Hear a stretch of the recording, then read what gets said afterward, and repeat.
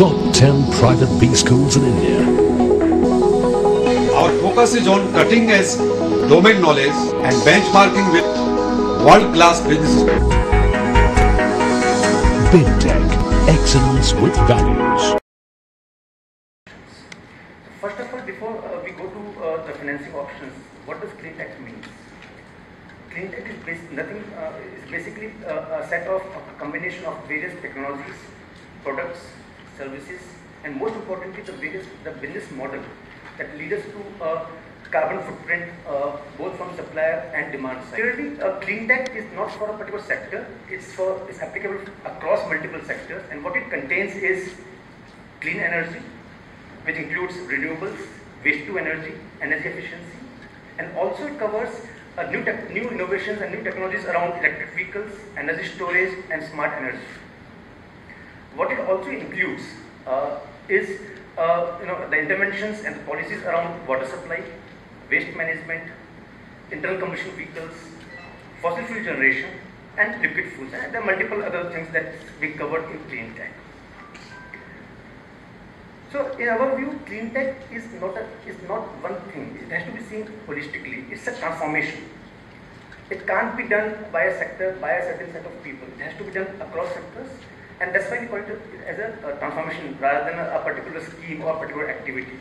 And if you look at the, some of the initiatives that we have witnessed uh, in India uh, in last few years, uh, we have National Action Plan for Climate Change, which has eight uh, different uh, missions. Uh, some of them are National Solar Mission, uh, we have national national water mission, so on and so forth. And on top of it, there are many things that's happening. It's not only that what, whatever is done is done. I think the government, uh, government of India, Ministry of Power, and other stakeholders are continuously regulating and coming out various initiatives and policies to enable this or to meet this clean agenda. And some of them being uh, NCEF, which is, which is National Clean Energy Fund. Uh, we are talking about RPOs, which is very important both for developers and, and, and the consumers and the, and the distribution companies. We're talking about fly ash and, uh, and other things. And also, government is focusing strongly on the financing initiatives, the various models and so on and so forth. So as we go along, we'll talk about that.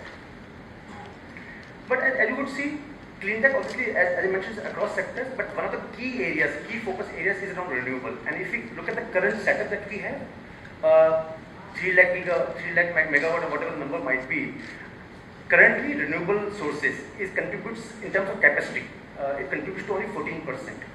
And out of this 14.5%, dominantly it's wind. But going forward, Government of India has set an ambitious target for 175 gigawatt by 2122, which includes 100 uh, gigawatt only for solar.